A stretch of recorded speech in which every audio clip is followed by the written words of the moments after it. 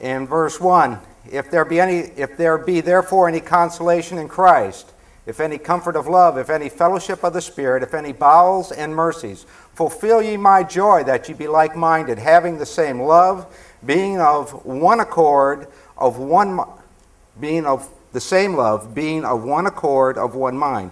Let nothing be done through strife or vainglory, but in lowliness of mind, let each esteem others better than themselves. Look not every man on his own things, but every man also on the things of others. We'll be talking this morning about uh, the thought process, the Christian thought process, and how our minds work. And uh, in doing so, uh, I've asked Chelsea to be up here to um, be a, a, maybe a test or a guinea pig for my new invention. This invention is the mind magnifier. And as we look into our minds, we see how that mind works. So, Chelsea, uh, you don't, it's not going to hurt at all. You don't need any sedatives or anything. And so we're going to look into your mind. Is that okay? Yes. All right. Now let's go in here and take a look, see what's going on in there. First of all, I see a lot of file cabinets up there. There are some file cabinets that are full and some are empty. But uh, let's uh, see what else is up here. Oh, there's a bunch of little workers up there. There's some guys up there running around, and they're very small too, by the way. And what are these workers doing? Uh, here's one over here that's opening file cabinets. There's another one here that's, oh, he's closing file cabinets. He's putting a lock on some of those drawers so you can't open some of them. And here's another one that says, why is this guy looking into my head? And here's another one over here. And there's uh, workers here that, oh, they're on coffee break. They're at Starbucks right now. Okay? And uh, here's another one. Mine Workers Local 101 is on strike. And there are some guys up there that push buttons and close file cabinets. And as we get information, we file things away in our mind. And sometimes we need to close and shut some of the file drawers in our minds. And that's some of the workers up in that mind up there. By the way, you can have this mind magnifier. You can use it on your brother and sister, uh, but it doesn't work on parents, so. Okay. Okay, thank you, Chelsea. And if, in fact, that's the way I think sometimes, when I study the book of Romans or the book of Daniel or anything, I sometimes think that I take this page and I remember this page where the verse is put on the page and I try to file it in my mind so that I can go get it later on. Uh, sometimes it gets a little cluttered up there, right? And uh, so I have to be able to recall the verses that, I'm, that I'm working on, that I'm thinking about, or people that I'm praying for. I need to be able to remember those things. And I have to get those little workers up there to be able to push the right buttons, turn switches on and off, or take some of the file cabinets. Anyone here from Grace School of the Bible? 2 Timothy 3:16 and 17, please. Also,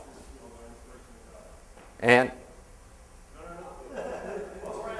all proof correction. All right, there you go. There's a, there's a guy back there and another guy here that uh, was ready to go. Randy and Tony, and I think Sam started in here too. But there's those file cabinets up there, and those little workers knew right where to go to get that verse.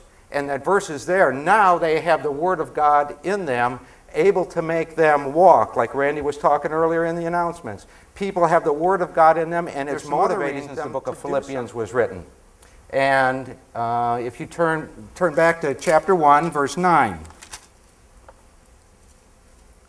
And it says, the Apostle Paul writing by the inspiration of the Holy Spirit, it says, And this I pray that your love may abound yet more and more in knowledge and in all judgment.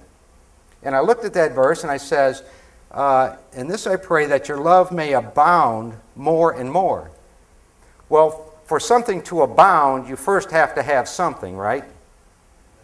So you first have some love, but now Paul says, I want your love to what? Abound. So your, your, your love in your Christian walk is doing okay, is doing good, but I want you to take it to the next level. So I want it to abound.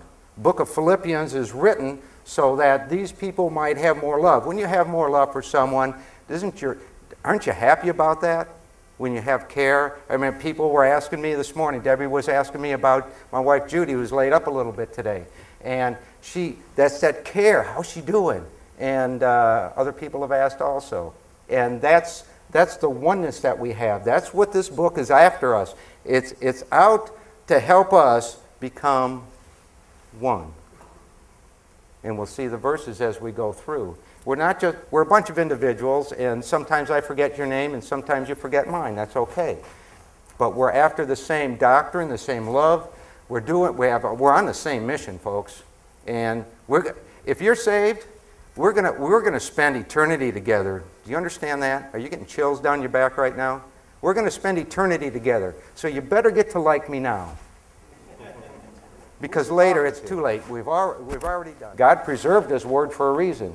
And He wrote it down so that we could, that Karl could hear it. And then maybe you could hear it too. Maybe these are some verses that we all need to attain to. Some verses that we all need to read and study. And we'll, we'll get into the, uh, the words here in a second.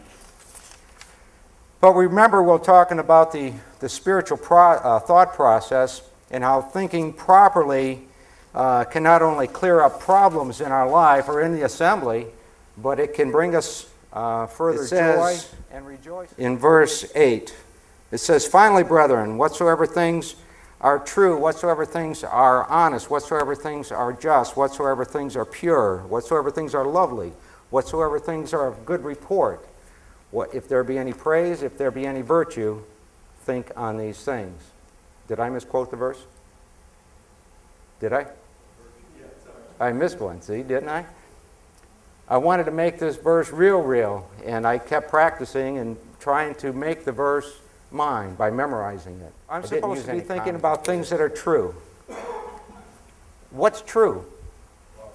The gospel's true. What else is true? It says, whatsoever. All right, the Word of God is true. I am the way, the truth, and the life. No man cometh unto the Father but by me. So, whatever true, I looked up in the dictionary, and uh, true means genuine and accurate. And whatever is false now should fall by the wayside. I put put on and put off up here. Put it out of your mind, the negative part, and put into your mind the Word of God. You keep kind of like, you get the, the illustration you're putting in, and the, and the bad's going out this ear, in one, my dad used to say in one ear and out the other. Well, that's exactly what this is. Put it in one ear, the Word of God, and the bad stuff goes out the other. Remember that illustration with Chelsea, with the file cabinets up there? What God wants you to do with those file cabinets, with the old you, with the old non believing person of yourself, or the things that we watch and see every day, whether we have a choice or not, that we take those file cabinets that hold that information of the negative thinking or the worldly thinking or the fleshly thinking we'll and see. lock them We're up. We're going to go through and see some more here. Honesty. If I'm thinking honestly, which means fair or no deception, what would I that's, not want to that, be thinking about? That's what that's what we're supposed to do at this side. Forget about it. The file Just let cabinets. It go. Get it Stop pushing those buttons. Let, let the right buttons, you know, you've heard that phrase, what pushes your button? Well, let this. Let this push the buttons and turn the switches and open and close those file We can start putting Bible verses up there, right? And doing this here. You might want to just take this, these verses here from Philippians 4 8, write them down on your coffee table in your kitchen, put them up on the fridge, pin them up at work. And when you start to go off the deep end like I do, I need something to pull me back in.